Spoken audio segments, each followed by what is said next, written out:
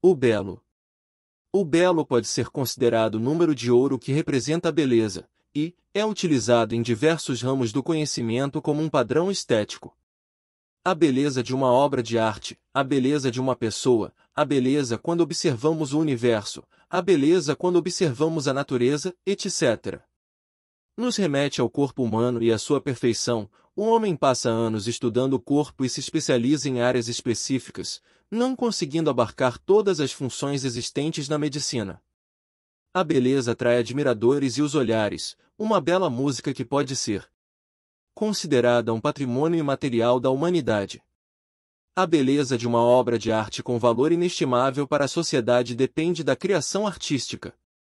A beleza de uma pessoa é reconhecida no mundo, devido ao seu padrão estético que a torna um ícone.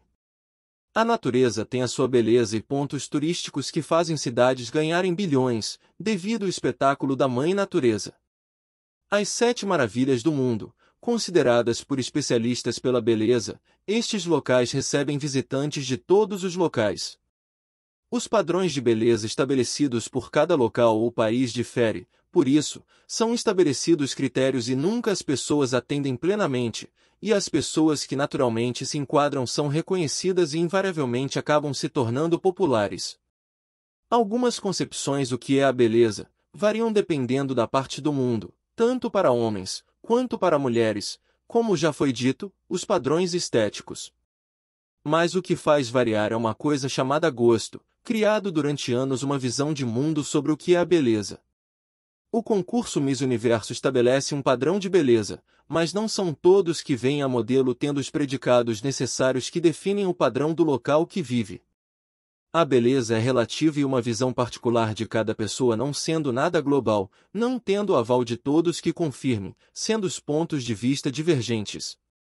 Cada pessoa enxerga o belo de uma forma, o que é importante criando uma diversidade de interesses na sociedade, devido ao pensamentos diferentes, temos experiências de vidas que nos tornam únicos.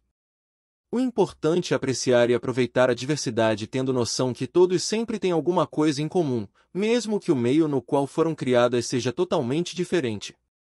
O universo de possibilidades é enorme, mas sempre encontramos pessoas e pensamos nossa que legal ter tido o prazer de falar contigo, foi muito produtivo.